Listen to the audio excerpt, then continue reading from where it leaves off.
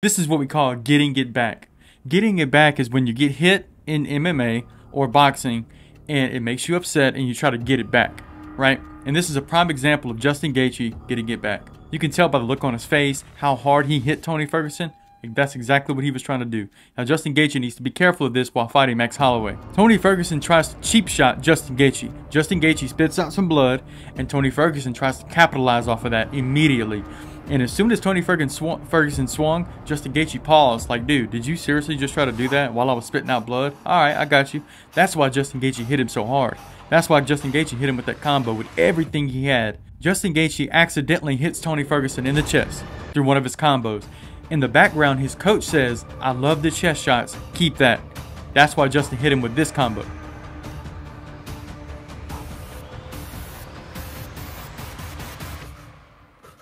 You can really see the technique and training of Justin Gaethje's boxing when he misses this combination against Tony Ferguson. I'll show some of the details in Justin Gaethje's training, the bobbing and weaving, the footwork, the parries, all that stuff. See right here, Justin Gaethje was hitting Tony Ferguson so cleanly and so much in this fight, he wasn't getting anything back from Tony.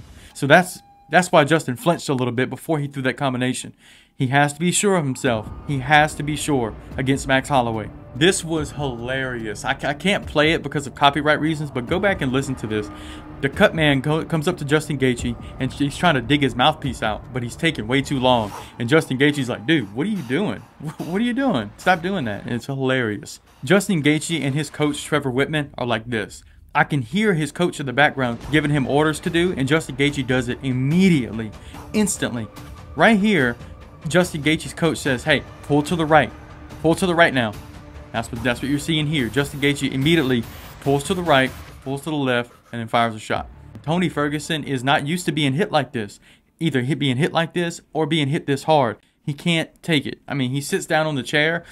He instantly gets up, throws a chair to the side. His coach is facing face to face. He can't look his coaches in the eye. He's looking down and he cusses at the cameraman. He says, Where's the cut man? WTF. He's just upset and you can see it right here. It's evident. Justin Gaethje's footwork is so underrated. I mean, check it out. Tony Ferguson is so freaked out by his footwork, he doesn't know what to do. He is putting advanced footwork on Tony Ferguson. And Tony Ferguson, even though he's an elite fighter, he doesn't know what to make of this. Look at the body language of Tony Ferguson. He is so confused about what Justin Gaethje is doing. Tony Ferguson has success with an uppercut in the second round between him and Justin Gaethje. Towards the end of the fight, Tony Ferguson tries to throw the same uppercut, but Justin catches him. Now, Justin Gaethje went on Joe Rogan a couple years ago and was describing how he didn't know how Tony Ferguson didn't go to sleep. This is the shot he was talking about.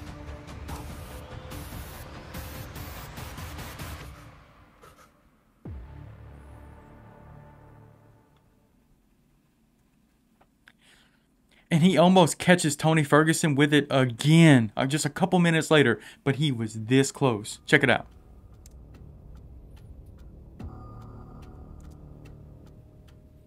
those who don't know, Justin Gaethje was going into the fifth round, but he had no idea. That's the thing with these fighters. They don't know what round it is. They're so focused and their adrenaline's pumping so high. They have no idea if it's the second round, the first round, the fifth round. They don't know.